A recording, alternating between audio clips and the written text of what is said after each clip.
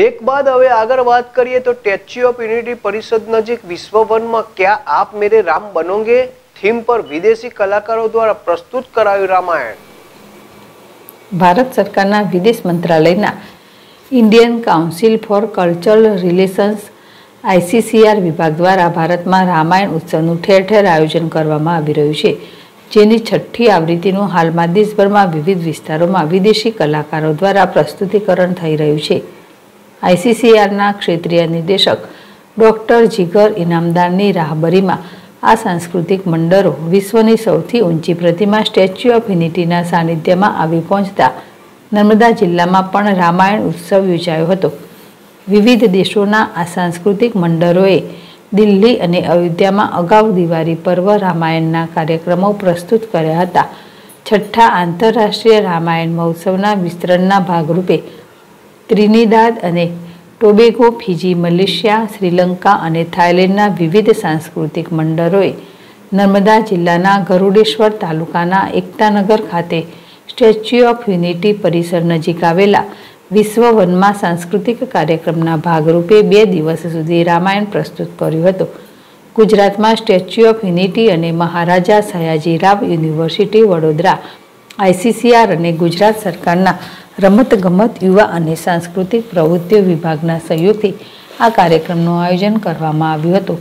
કાર્યક્રમના પ્રથમ દિવસે તારીખ છવ્વીસમી ઓક્ટોબર, બુધવારના રોજ શ્રીલંકા અને થાઇલેન્ડના કલાકારોએ રામાયણ કથાની પ્રસ્તુતિ કરી હતી, જ્યારે બીજા દિવસે ગુરુવારે ફિજી અને મલેશિયાના કલાકારોએ ક્યાં આપ મેરે રામ બનોગે થીમ આધારિત રામાયણની કલાત્મક પ્રસ્તુતિ કરી હતી.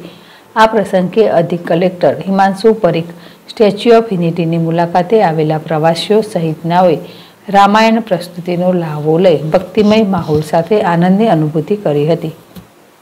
દીપક જગતાપ, જેડેશ ટીવી રાજપીપળા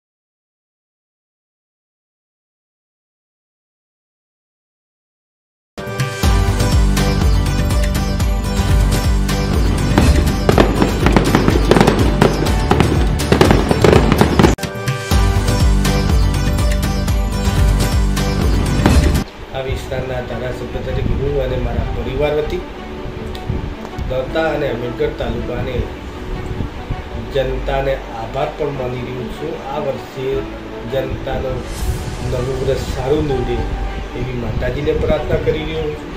સાથે સાથે સુખ, શાંતિ, સમૃદ્ધિ નીવડે એવી પણ પ્રાર્થના કરું છું. નવું વર્ષ તમને શુભકામનાઓ પાઠવું છું.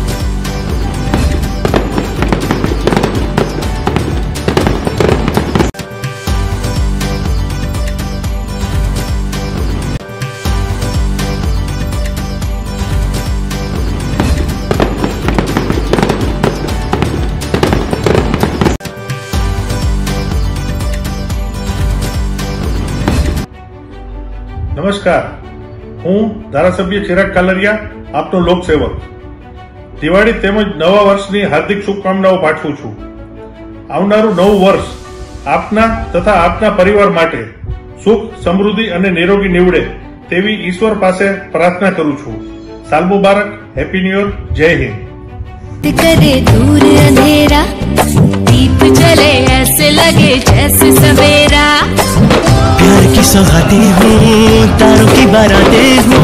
दूरी की हो बस मुलाकातें हो। सबको यही देती संदेशा। दीपावली गली गली बन के खुशी छाई रोशनी की चादर ओढ़े दीपावली।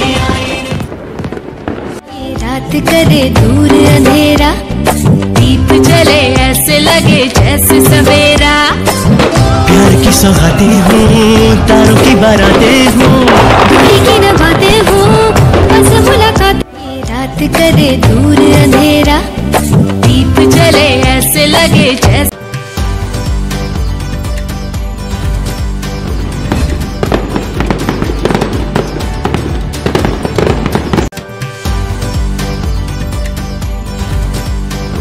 વંદે માતરમ ચોટીલા શહેરની સમગ્ર જનતાને દીપાવલીના શુભ અવસરે ચોટીલા શહેર ભાજપની ટીમ વતી ખૂબ ખૂબ હાર્દિક શુભેચ્છાઓ અને નૂતન વર્ષની ખૂબ ખૂબ શુભકામનાઓ. સહ આપ સૌ શહેરીજનોને આવનારું નવું વર્ષ યશસ્વી, લાભદાયી, ફળદાયી નીવડે તેવી મા ચામુંડા માતાજીના ચરણોમાં કરબદ્ધ પ્રાર્થના તેમજ આપ સૌએ ચોટીલા શહેર ભાજપની ટીમને આજ સુધી જે પ્રેમ સ્નેહ અને હૂંફ આપ્યા છે તેવા જ આવનારા સમયમાં પણ અમોને આપના તરફથી સ્નેહ પ્રેમ મળતા રહે તેવી આશા સાથે ચોટીલા શહેર ભાજપ પ્રમુખ શૈલેષભાઈ રાજવીરના નૂતન વર્ષના ખૂબ ખૂબ અભિનંદન करे दूर अंधेरा दीप जले ऐसे लगे जैसे सवेरा प्यार की सौगातें हूँ तारों की बारातें हूँ। दूरी की न बातें बस मुलाकातें हो। सबको यही देती संदेशा। दीपावली गली गली बन के खुशी छाई रे रोशनी की चादर ओढ़े दीपावली रात करे दूर अंधेरा दीप जले ऐसे लगे जैसे सवेरा। प्यार की सौगातें हूँ, तारों की बाराते हूँ। दूरी की नाते हूँ रात करे दूर अंधेरा।